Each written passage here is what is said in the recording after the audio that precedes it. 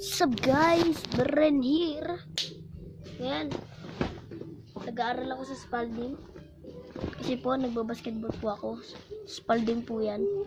Yan po, Spalding. Spalding. At ito po ang bola niya. Saglit lang po.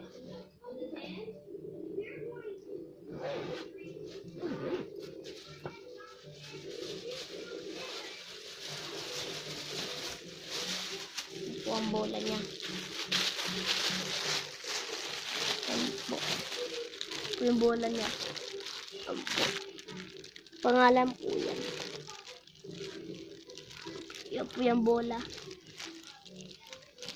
Yan po yung pinapanggamit ko pag dribble.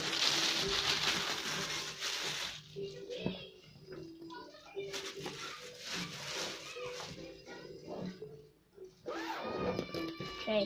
So, bye.